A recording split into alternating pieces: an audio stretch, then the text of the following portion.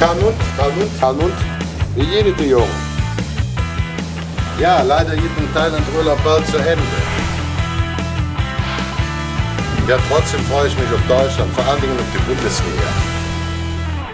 Ja, Bayern München hat natürlich ohne Winterpause wieder für die Hammermeldung gesorgt. Die Powerpersonalie Klinsmann hätte ja alles andere in den Schatten gestellt, nicht nur im Sport. Aber in der Bundesliga hat keiner mehr von 30 Millionen Investoren gesprochen. Die sind ja die Clubs richtig an die Tankstelle gefahren und haben dafür 30 Millionen nachgeladen.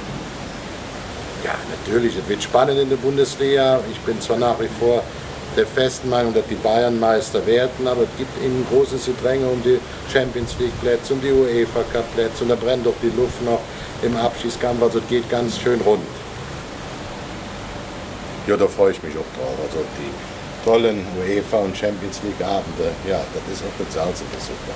Ich werde wirklich selber ein paar Spiele im Stadion angucken gehen und dann noch vor der Freddy-Kiste im Fernsehen wir haben UEFA Cup, haben wir wirklich einen Kram mit vier. Bayern München, Werder Bremen, HSV, Bayer Leverkusen, das Essen kam mit vier im UEFA Cup. Und dann noch Nürnberg, die auch für manche Überraschungen gut sind. Ja, und Champions League mal abwarten mit Schalke. Den traue ich einiges zu.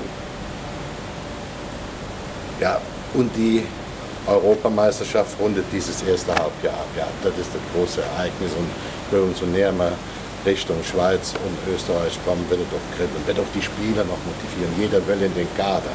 Es wird viel spekuliert werden. Also, ja, jetzt Schöneres gibt es nicht. Also, wunderbar, Fußballherz. Was willst du mehr? Also, ich freue mich auf alle Fälle. Okay.